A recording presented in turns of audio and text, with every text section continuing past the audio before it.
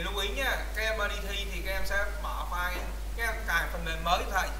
Các phần mềm 7.3 à, và các em vào thì các em lưu cho thầy trước.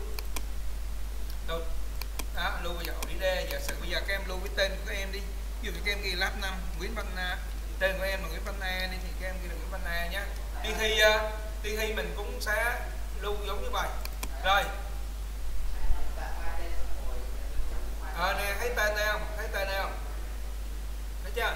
Rồi, một cái nữa, đi thi môn này vừa phải lưu như vậy và vừa phải mở cái phần mềm quay video lên, tại vì thầy sẽ coi thao tác của em làm. Tại vì đây là không thấy thao tác thì cũng khó, đúng không? À.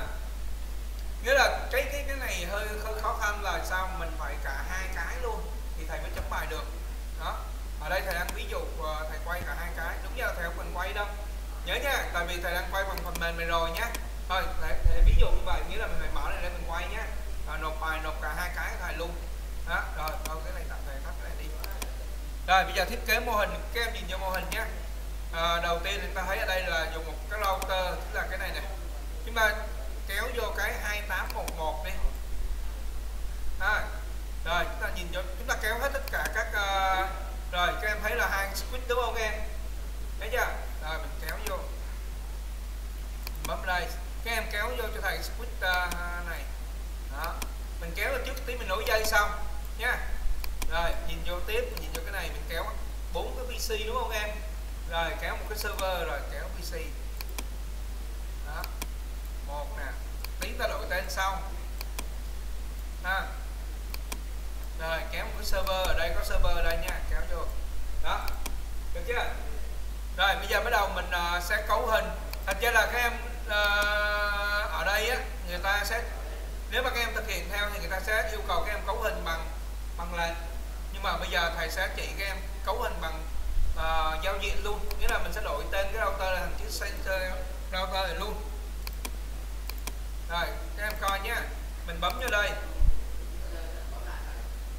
Không thầy đang quay video mà yên tâm tí mình coi lại từ từ. Đó đó, đó config nè thấy cái này không tên là như vậy đó mỗi lần các em làm thì các em để ý dưới đây nè các em thấy đổi tên của mình không thấy giống như là mình biết không các em thấy chưa thấy chưa rồi tiếp theo mình lại nhìn vô cái đề nè mình nhìn vô cái uh, cái đề mình thấy cái router này nó có hai cộng cộng bên uh, 01 là 192.168.1.1 ha thì mình đây mình nhìn vô cái này tiếp để ý nè cộng 01 trước nha các em à, bấm vô on nè mình đặt là 192.168 các em cẩn thận cái này các em dễ bị sai lắm. Các em hay nghĩ là 00 trước.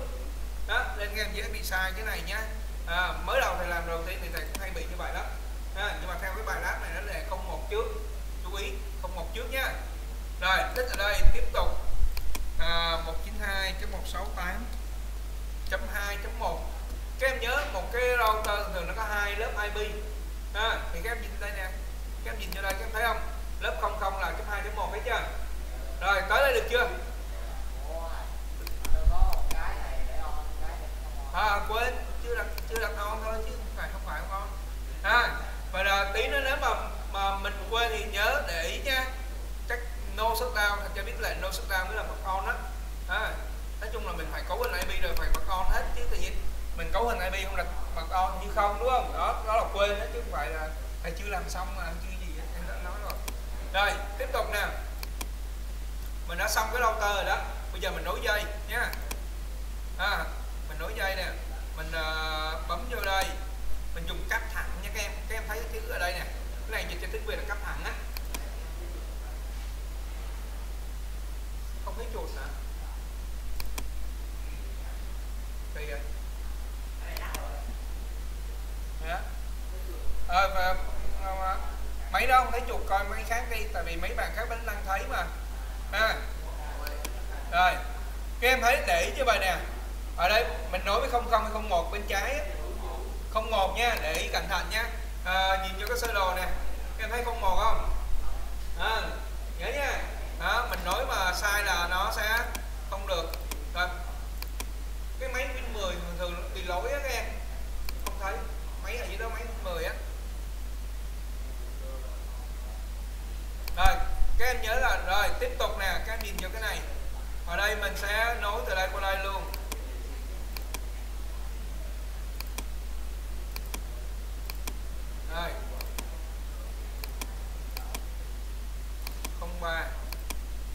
chưa đó rồi tương tự như vậy thầy mới nối dây thôi nha thầy chưa đặt IP nhé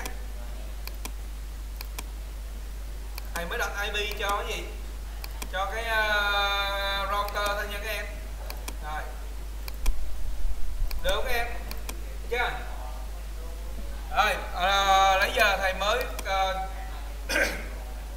thiết kế cái sơ đồ. Bây giờ bắt đầu đặt IP lưu ý cái switch này á mình uh, không có đặt IP bằng uh, giao diện được. Mình sẽ dùng lại nha các em. Nhưng mà switch này các em để ý ở đây nè. Mình sẽ đổi tên các em thấy đây không?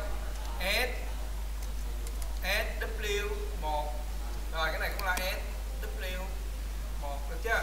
Đó, các em thấy dùng lại đây không? Được chưa? Rồi. Đó. Được chưa? Rồi, tiếp tục nè. Cái đặt IP thế lần sau nha các em. Thấy nha. rồi, tiếp theo là qua bên đây luôn cái này bấm vào đây S à, W2 đó được không em chưa thật ra là tí các em để ý ở đây nè các em kéo ra các em thấy W1 với 2 đây nè thấy chưa tí nữa cái phần IP thì uh, hoặc là cái cái uh, cái phần đó người ta cũng sẽ chỉ các em dùng là ở phía dưới nè tí tí tới đây các em sẽ dùng lại phía dưới. Ha đó rồi. Tiếp tục mình sẽ đặt IP cho những cái này. IP sau. Cái là 1.11 coi nhá mình bấm vào đây. À, thầy sẽ đặt cái bên uh, bên đây trước. À, rồi đây là PC4 nha các em. À, rồi. Cái ờ, uh, DHCP cái này dùng DHCP nha các em. Coi nhé coi đặt cái này nè. Cái này là PC3 PC2 chuyển PC3 và cái này DHCP luôn. Nhớ nha rồi còn cái này DHCP là gì? Đây là dịch vụ cấp phát IP đồng. Tí đây thầy sẽ nói kỹ cái đó nhé tí trong tí nó thầy qua cái chỗ này thầy sẽ nói. Rồi tiếp theo mình đặt IP đây là chấm 1 chấm 10 1 nghĩa là cái à, chấm 1 chấm bao nhiêu để coi lại cái sơ đồ khác. Cái này là các em 1 chấm 10 12 nha các em. Rồi cái này là VC2 chấm 1 chấm 12 được chưa? Rồi ở đây nó bấm vô cái chỗ này nè. À, quên cái default quay là là 1 chấm 1 nha các em. Bấm ở đây default quay là 1 còn cái path internet nè 1.10 12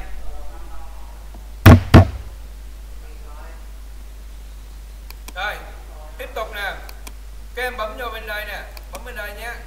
Các em bấm vào đây tiếp các em là PC1 nhớ nha cái ngoài cùng PC công chuyển PC1 nha default quay là 192.168 cái 1.1 rồi còn cái này là 192.168.1.10 11 nhớ nha. Rồi các em uh, cho thầy nói cái nè. Rồi cái việc cái default bên quay là gì? Ở nhà mình đó các em cái cục mà wi cung cấp wifi cấp mạng nhà mình á, thì cái máy của mình kết nối vào mà cái cái chỗ mà default gateway chính là cái địa chỉ IP của cái cục cung cấp mạng cho mình á. Hình dung được không em? Ví dụ như bây giờ các em lấy điện thoại em kết nối vô cái cục wifi ở nhà đi, thì cái IP mà được, cái IP mà của cái cục wifi chính là default gateway á. Đấy nha các em hiểu default quay là gì? Là nơi giao tiếp với mạng từ bên trong với lại bên bên ngoài á. Ha, ví dụ như bây giờ các em hiểu như vậy, ví dụ như bây giờ các em muốn đi ra khỏi phòng này thì các em qua cánh cửa đúng không các em? Cánh cửa chính là đi đi default quay á. Hình dung được chưa? Và là các em nhớ cái cục wifi ở nhà cũng là à, địa chỉ IP chính là địa chỉ đi default quay. Ha, rồi bây giờ, lấy giờ thầy mới chỉ các em là thiết kế sơ qua cái